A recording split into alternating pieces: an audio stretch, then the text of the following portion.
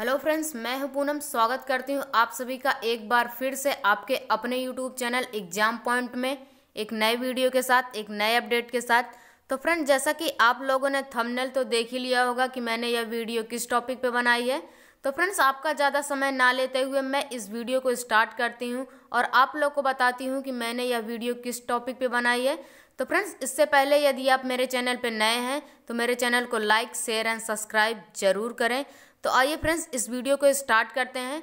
तो फ्रेंड्स, आज की इस वीडियो में हम बात करने वाले हैं कि यूपी बोर्ड एग्ज़ाम 2000 जो 22 होने वाला है, यानी जो भी छात्र दसवीं और बारहवीं के बोर्ड के एग्ज़ाम देने वाले हैं, उनकी परीक्षाएँ कब से शुरू होंगी, क्या क्या उनकी परीक्षाओं को लिया जाएगा, या फिर उनके एग्ज़ाम को जो है पोस्टपोन किया जाएगा।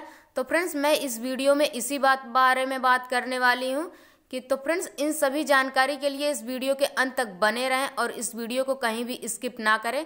तो फ्रेंड्स, जैसा कि आप लोग जानते ही होंगे कि इस समय यूपी में जो है विधानसभा चुनाव चल रहा है और दस फरवरी को जो है आप लोग के प्रथम चरण की वोटिंग जो है वो समाप्त हो चुकी है और इससे लगता है कि आप लोग का एग्ज़ाम जो है वो मार्च में ही हो पाएगा। इससे पहले आप लोग का एग्ज़ाम नहीं हो पाएगा।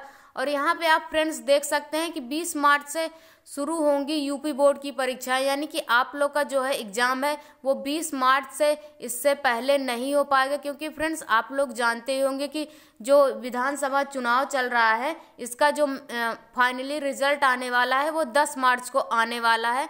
तो फ्रेंड्स, आप लोग सोच ही सकते होंगे कि इससे पहले आप लोग का एग्ज़ाम कैसे हो पाएगा। यानी कि एक तरफ़ विधानसभा चुनाव चल रहा है और ऐसे में आप लोग का जो है एग्ज़ाम लेना है तो एकदम नामुमकिन है कि आप लोग का एग्ज़ाम जो है नहीं लिया जाएगा।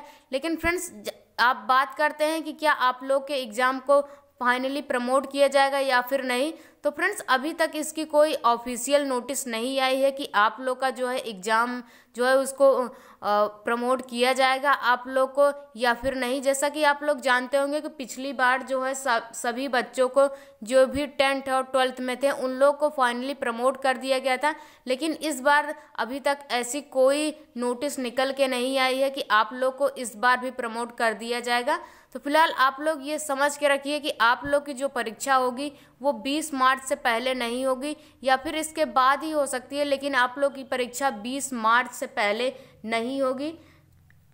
तो फ्रेंड्स, आप लोग को यह जानकारी कैसी लगी, हमें कमेंट करके ज़रूर बताएँ। इससे पहले यदि आप मेरे चैनल पर नए हैं तो मेरे चैनल को लाइक शेयर एंड सब्सक्राइब ज़रूर करें।